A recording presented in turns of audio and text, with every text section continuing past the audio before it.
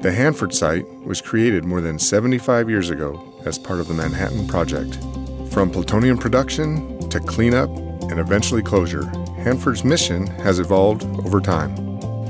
Since the late 1980s, Hanford has been focused on cleaning up the legacy waste. In addition, we always want to ensure the safety of our workers, the public, and the environment. With much of our Hanford infrastructure dating back to the 1940s, our concerns are reliability and safety. The critical need here at Hanford is to reconfigure, rejuvenate, and right-size the infrastructure to support the current and future mission. As the provider of site services, we continually assess infrastructure and prioritize needs. Currently, we have over 100 backlog projects with greater than $350 million in costs. For example, Hanford's water utility infrastructure consists of over 100 miles of buried pipe, much of it up to 75 years old. The pipe is deteriorating, causing frequent breaks and leaks due to its age. Some waterline breaks can be quite severe. Since 2008, there have been 77 waterline breaks at Hanford. Another example is the need for adequate and reliable power to meet future mission requirements. The wooden power poles, many of which have been here since the 1940s, are failing and are in need of immediate replacement. With over 6,000 poles on site, this is a project of significant proportions. There are over 350 miles of road on the Hanford site.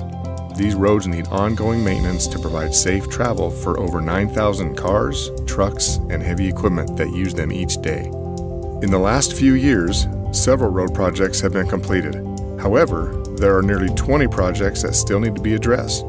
The reliability of our roads is crucial for the safety of our workers and progress towards the mission. Deferring road maintenance increases the likelihood of failure and increases the risk that some Hanford site routes will have to be closed due to failing road surface conditions. Critical infrastructure includes not only physical, but technical components as well. The Hanford Site's Information Technology Network requires continuous investment to keep technology and cybersecurity systems reliable, up to date, and able to protect against security threats. Deteriorating roads, failing electrical poles, crumbling buildings, and outdated parts and components all create significant safety hazards to our workers and impact current and future Hanford site missions. One of those future missions is the completion of the Waste Treatment and Immobilization Plant, or WTP, when it begins operations, the WTP will be the nation's largest vitrification facility and will immobilize into glass the chemical and radiological waste stored in the underground tanks. For successful 24-7 operations, the WTP project requires significant upgrades to Hanford's infrastructure. This will ensure reliability for safe, continuous operations. Along with WTP operations, Central Plateau cleanup projects continue. These activities include the demolition of historical processing facilities located on the Central Plateau, groundwater pump and treat activities, and contaminated soil removal and disposal. Each of these cleanup activities require a robust and reliable infrastructure to be successful.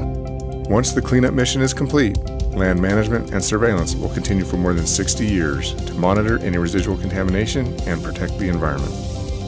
Hanford infrastructure needs reliability and redundancy to ensure the operational pace is in place to help us execute the end state mission.